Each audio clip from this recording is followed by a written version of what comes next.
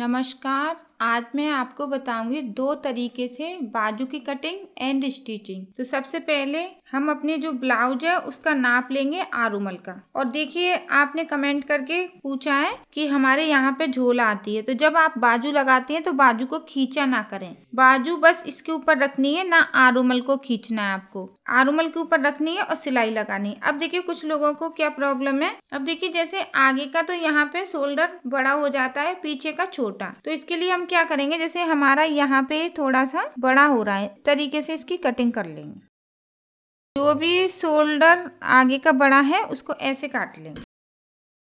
अब यहाँ पे भी इसको ऐसे।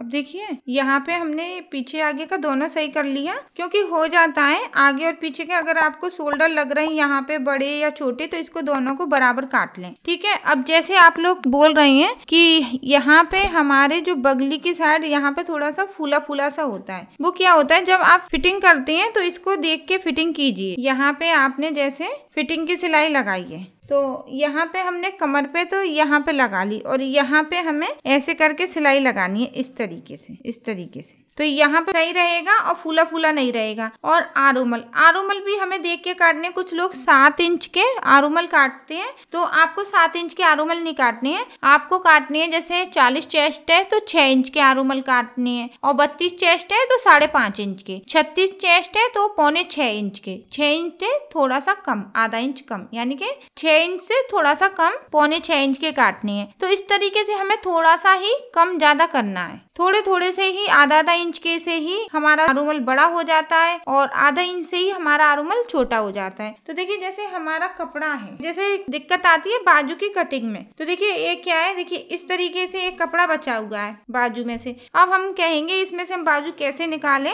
जो नए लोग हैं, उनके तो समझ में नहीं आएगा, क्योंकि जितना हम ब्लाउज सिलेंगे, उसकी कटिंग करेंगे और देखेंगे नए नए तरीके से नए नए आइडिये से तो उतना ही समझ में आएगा। तो देखिए, इसके बाजू कैसे निकाली जाएगी, वो भी बताएँगे। और यहाँ पे देखिए, ये इस तरीके का कपड़ा है। इतना बचा हुआ है। और इसमें से जैसे हमें बड़ी बाजू निकालनी है, छोटी बाजू निकालनी है तो वो कैसे निकालेंगे? तो सबसे पहले देखिए, हम अपने आरुमल का यहाँ पे नाप लेंगे चौड़ाई। कभी कभी देखते हैं कि कपड़े की चौड़ाई कम होती है और आरुमल की ज़्यादा। तो देखिए, यहाँ पे दस इंच आ रहा है। तो हमें कपड़े की चौड़ाई चाहिए बीस इंच।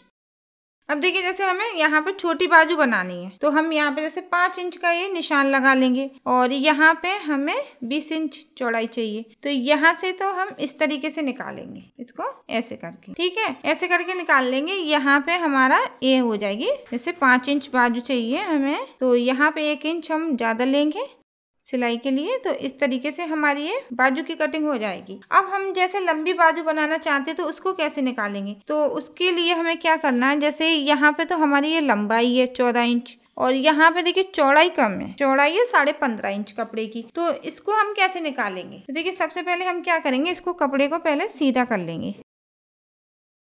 ये कपड़े को हमने सीधा कर लिया। अब हम इसमें कटिंग का निशान लगाएँगे। यहाँ से ऐसे अब यहाँ पे लेंगे हम तीन इंच। तीन इंच यहाँ पे लिया।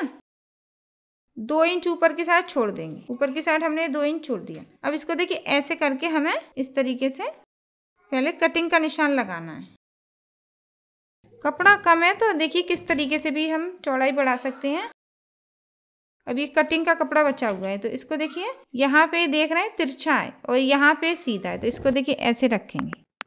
इस तरीके से रख लेंगे। और इसको रखने के बाद देखिए, यहाँ पे हम ऐसे करके कटिंग कर लेंगे। अब देखिए, अब यहाँ पे हमारी चौड़ाई कितनी हो रही है? तो यहाँ पे देखिए, साढ़े दस इंच हो रही है चौड़ाई। तो अब हम इसको जैसे लगा के बताते हैं, किस तरीके से लगाई जाती है। तो ये हमारी मोरी है। तो पहले हम यहाँ पे मोरी पे थोड़ा सा बराबर कर लें। और हमें लंबाई चाहिए ज़्यादा और कपड़े की जो लंबाई है वो है कम। तो इसके अंदर हम अंदर वाली पट्टी लगा लेंगे अस्तल की। थोड़ा सा ही यहाँ पे हम मोरी की कटिंग करेंगे क्योंकि गुंजाइश ज़रूरी है, थोड़ा ढीला कर रहा उसको हम कर सकते हैं। तो थोड़ा सा यहाँ पे हम गुंजाइश रखेंगे। तो यहाँ पे देखिए जैसे दस इंच की मोरी है। तो हमने यहाँ पे साढ़े छः इंच लिया है। डेढ़ इंच हमारा सिलाई में चला जाएगा और ये टुकड़े हैं, ये यहाँ पे जोड़ेंगे। और यहाँ पे अस्तल है तो अस्तल की पट्टी हम यहाँ पे बाजू पे लगाएँगे। क्योंकि कपड़े की अगर लंबाई कम है तो उसको हम कई तरीके से निकाल सकते हैं। उसकी लंबाई बढ़ाने के लिए हम ऐसे पट्टी भी लगा सकते हैं और चौड़ाई के लिए हम ये पट्टी लगा सकते हैं। तो यहाँ पे हम एक डेढ़ इंच की पट्टी काटेंगे इस तरीके से। अब देखिए, ये तो हो गई कटिंग। अब इसकी स्टिचिंग बताते हैं जोड़ के, कैसे इसको जोड़ा जाएगा।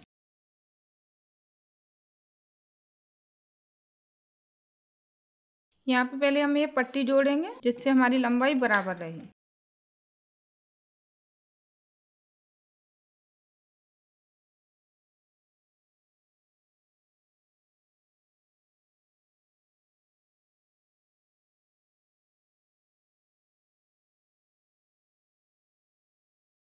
अब देखिए, यहाँ पे पट्टी लगा ली। अब जो ये टुकड़े हैं, उनको जोड़ेंगे।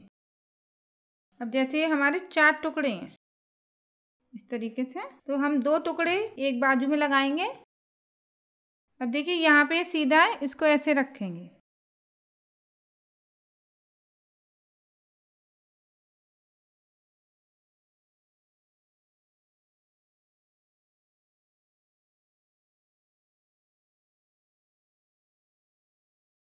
अब देखिए, दोनों साइड टुकड़े जुड़ गए और देखिए, चौड़ाई बढ़ गई। अब देखिए, जैसे कुछ लोग बोल रहे हैं कि आगे की साइड आप कटिंग नहीं करते तो मैं कटिंग इसलिए नहीं करती हूँ, जो नए लोग हैं, वो भूल जाएँगे। तो ये कटिंग का कपड़ा अगर आप पीछे की साइड जोड़ देंगे तो पूरा ब्लाउज खराब हो जाएगा। तो एक कटिंग में बताई है मैंने कटिंग तो जो नए लोग हैं, उनके लिए मैं बाजू बताती हूँ, क्योंकि कटिंग करना तो कोई कठिन नहीं है। इसको जैसे आपने बीच में निशान लगा लिया। बीच का ये निशान है। अब इसके बाद देखिए, आधा आधा इंच हमें यहाँ से कटिंग करनी है, यहाँ से, आगे की साइड से आधा आधा इंच।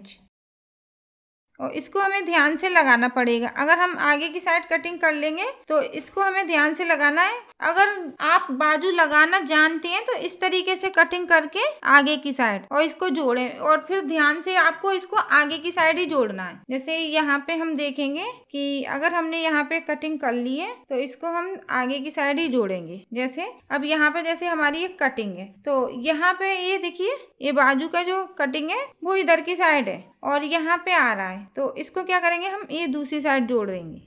इस तरीके से हमें इसको ध्यान से देखना है। जब कटिंग करेंगे तो। तो इसलिए मैं कटिंग नहीं बताती हूँ, जो नए लोग हैं, वो भूल जाएँगे। तो पूरा ब्लाउज खराब हो जाएगा। इसको अगर आपने पीछे की साइड जोड़ दिया तो पूरा ब्लाउज खराब हो जाएगा। इसलिए मैं नहीं बताती हूँ कि यहाँ पे कटिंग कीजिए। और वैसे झोल की बात है तो वो झोल बिल्कुल नहीं आती है। जैसे मैं कटिंग करके बताती हूँ, उस तरीके से आप कटिंग कीजिए। जैसे मैंने यहाँ पे आरुमल को बराबर कर लिया है, छोटा बड़ा हो रहा था। तो इस तरीके से आप ध्यान से देखेंगे वीडियो को तो बिल्कुल झोल नहीं आएगी। तो अब हम क्या करेंगे, बाजू की जो चौड़ाई है, इसको इसके ऊपर रखेंगे और नापेंगे। क्योंकि बहुत दिक्कत आती है आप लोगों को बाजू लगाने में। तो आज मैं पूरा बताऊँगी कि कैसे आपको बाजू पे ध्यान देना है। तो यहाँ पे देखिए, आप एक इंच खोल लीजिए। एक इंच खोलने के बाद अब क्या करना है? यहाँ से इसको नापेंगे। देखिए, इस तरीके से रखेंगे आरुमल के ऊपर बाजू। और बाजू को देखिए, ध्यान से देखना किस तरीके से इसको जोड़ेंगे। इसको खींचना नहीं है बाजू को और ना आरुमल को खींचना है। और कपड़े को भी हमें ध्यान से देखना है, आधा आधा इंच कपड़ा दबाना है। कहीं कम, ज़्यादा कपड़ा दब जाता है तो भी दिक्कत आती है। अब देखिए, यहाँ पे थोड़ा सा एक इंच ये बड़ा हो रहा है तो हम दोनों साइड इसको छोड़ देंगे या फिर थोड़ी सी कटिंग कर लेंगे।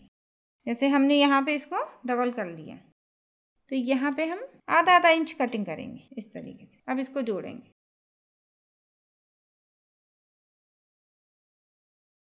आधा आधा इंच का ही कपड़ा दबाना है, कम ज़्यादा नहीं करना है। कपड़ा कम ज़्यादा हो जाता है, फिर भी दिक्कत आती है, बाजू में झोल आ जाती है। आरुमल को खींचना नहीं है, बाजू को भी नहीं खींचना है।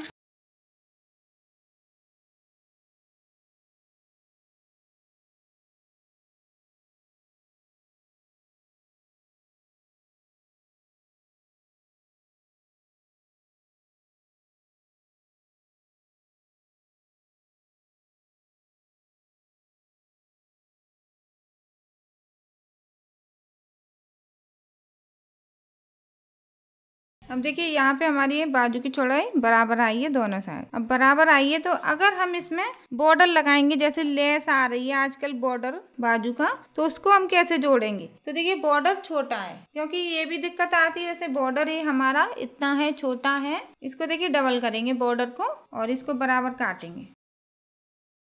बराबर काटने के बाद अब हम क्या करेंगे? ये बाजू को भी डबल करेंगे, इस तरीके से बराबर।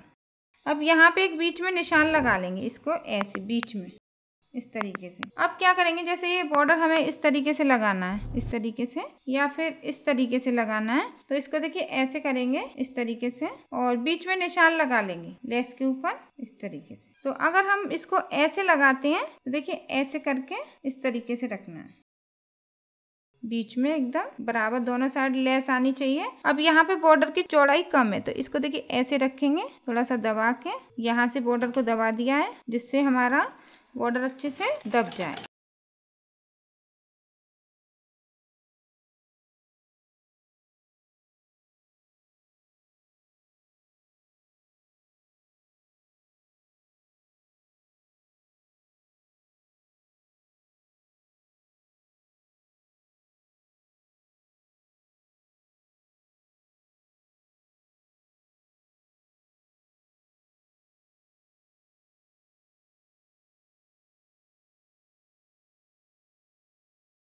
देखिए बॉर्डर लग गया है, अब हम मोरी की फिटिंग करेंगे।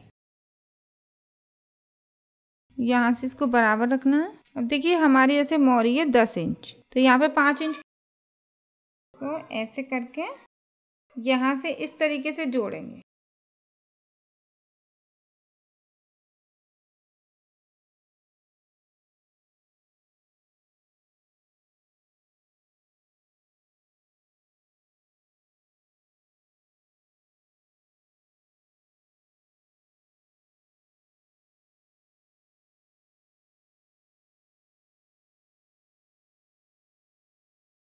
अब देखिए, इस तरीके से ये हमारा पूरा बाजू लग गया है। अब देखिए, यहाँ पे बिल्कुल भी झोल नहीं है। ये देखिए, इस तरीके से लगी यहाँ पे देखिए। अब देखिए, जैसे मैंने आपको कहा, छोटी बाजू, दो तरीके से बाजू। तो देखिए, यहाँ पे बाजू लग के तैयार है और छोटी बाजू वो भी बताती हूँ। तो जैसे ही हमारा ये अस्तर है। तो ये कपड़ा तो मैंने आपको दिखाई दिया, देखिए, इतना छोटा है। अब जैसे ये अस्तर है तो यहाँ पे इसकी जो चौड़ाई है, वो सोलह इंच की है। और यहाँ पे इसकी जो बाजू की लंबाई रखनी है, वो हमें रखनी है चार इंच। तो हम यहाँ पे पाँच इंच ले लेंगे कपड़े की लंबाई। अब इसको ऐसे डबल करेंगे, ऐसे। अब ये डबल हो गया। अब यहाँ पे देखिए बंद वाली साइड है। यहाँ पे दो इंच इसको छोड़ेंगे। बाजू काटने का आसान और सरल तरीका है और पेपर पे कटिंग करते रहिए। पेपर पे आप बाजू ज़्यादा से ज़्यादा काटते हैं। इससे क्या है? आपका हाथ सदेगा। आपको अंदाज़ा होगा कि कैसे कटिंग की जाती है। तो देखिए, यहाँ पे हम तीन इंच ले लेंगे। अब देखिए, इसको देखिए, हम ऐसे करके तिरछी लाइन लगा तिरछी लाइन हमने ये खींच ली। अब इसमें देखिए, हम अपने हिसाब से गोलाई देंगे। इस तरीके से देखिए, गोलाई देनी है। ये हो गया। अब जो चौड़ाई कम है उसके बारे में भी बताऊँगी, कैसे इसकी चौड़ाई बढ़ानी है। तो देखिए कटिंग का कपड़ा है, इसको अलग रखेंगे और यहाँ पे हम इस लेस को निकाल लेंगे, क्योंकि इसको हमें आधा आधा करके लगाना है दोनों बाजू पे। बॉर्डर निकाल लिया, इसको आधा आधा करके लगाएँगे।